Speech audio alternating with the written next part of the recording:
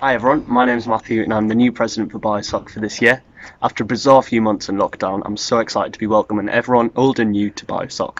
BioSoc represents students from across the University of Leeds who have an interest in all things biology from anatomy through to zoology.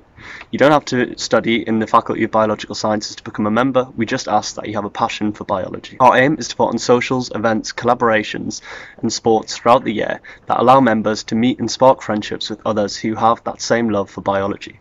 Things will naturally be a little bit different this year with COVID 19, but we're going to try our very best to make sure this is an awesome year for all our members.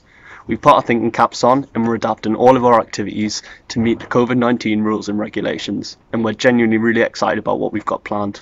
And this year, we're also going to be working with the faculty and the union to introduce some new career and employability events. So not only will being a member of BioSoc benefit you on the social side, but also on the academic side, so it's a win for everyone. So if you've got an interest or study anything biology related, then please come and say hello. We'd love to meet you.